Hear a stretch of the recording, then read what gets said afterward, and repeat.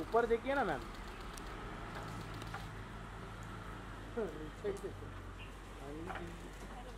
Janvi ji. Janvi ma'am Janvi ma'am पीछे देखो। जानवी जी।